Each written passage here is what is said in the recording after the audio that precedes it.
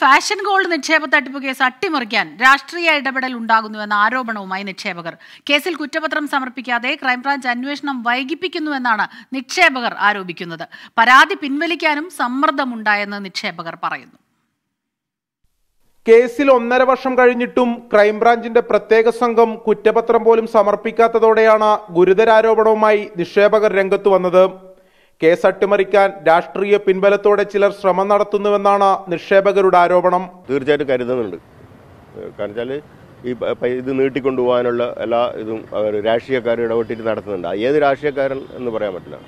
തട്ടിപ്പിനിരയായ നിക്ഷേപകർക്ക് പണം തിരികെ നൽകാമെന്ന പ്രഖ്യാപനവും ഇതുവരെ നടപ്പിലായിട്ടില്ല.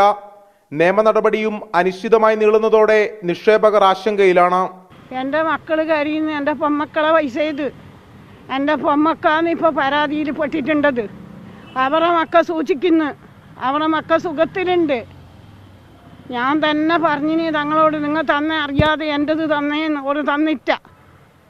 ഒരു പറഞ്ഞ് കേസ് കൊടുക്കുക ആക്കും പോലെ ആക്കുന്നു. ഒരു പറഞ്ഞത് കൊണ്ട് കേസ് കൊടുത്തില്ല കേസ് കൊടുക്കില്ല ജ്വല്ലറി ചെയർമാനും മഞ്ചേശ്വരം മുൻ M L എയുമായ M C Kamaruddin managing director Pookoyathangal എന്നിവരാണ് കേസിലെ മുഖ്യപ്രതികൾ. തട്ടിപ്പിൽ കണ്ണൂർ കാസർഗോഡ് ജില്ലകളിലായി നൂറ്റി അറുപത്തിനാല് കേസുകളാണ് രജിസ്റ്റർ ചെയ്തിട്ടുള്ളത്. അന്വേഷണം അന്തിമഘട്ടത്തിലാണെന്നും ഘട്ടം ഘട്ടമായി കേസുകളിൽ കുറ്റപത്രം സമർപ്പിക്കുമെന്നുമാണ് ക്രൈംബ്രാഞ്ചിന്റെ വിശദീകരണം. ട്വന്റി കാസർഗോഡ്.